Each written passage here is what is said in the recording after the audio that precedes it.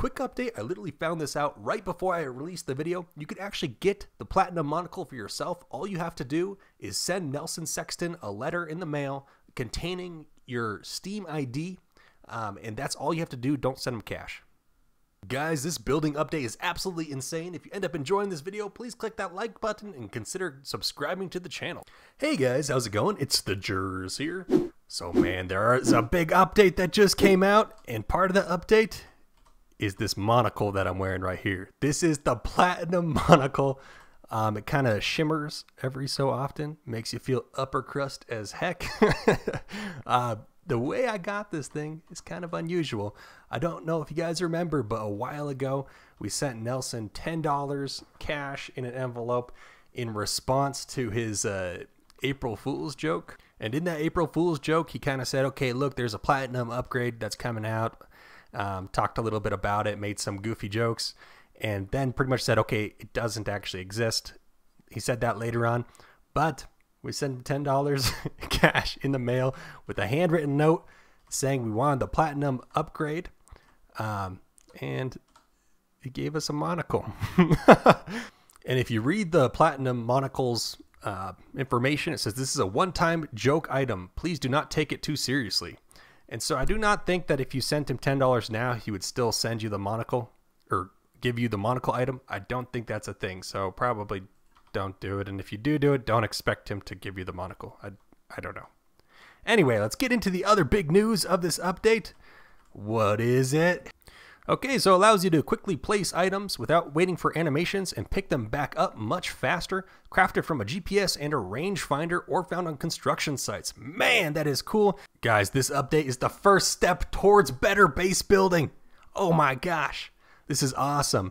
Building downward, claim flags automatically covering the entire connect connected house, replacing the crafting system, and more. So freaking exciting, guys. We we have needed something new in base building, and it sounds like it's coming, and it's already starting with the housing planner. Let's go play with it. Okay, you hold down T to get the menu up. You can select what you want. Boom. Oh my goodness. We are freaking making things so quickly. Oh, there we go. Holy crap. This feels like The Sims or something. This is freaking sweet. Oh my god. You can build so quickly. This is awesome. Ah! oh my god. Another thing to note is that you now only need two pillars to put a roof up. So used to need four. So I guess you only need two now, which is pretty sweet. Brick building material is temporarily buffed from 800 to 1650 um, or 1650 HP. Don't know why they did that. Okay, here's an anomaly that I don't think is supposed to be in the game, but it seems like we can place ramps off of foundations at weird angles. I don't know. I don't know why. I don't know what this does for us, but it's interesting. Okay, and if we have a ramp down there, we can build another ramp here. Don't know why. this is interesting.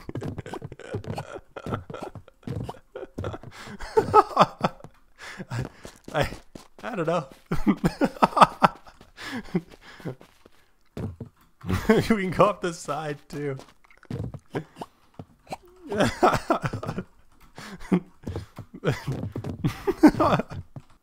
okay, let's see if we put another ramp up here. And now I think we can put a foundation. Oops. I think we can put a foundation built off this thing, maybe. So we can sure, for sure put it built off there.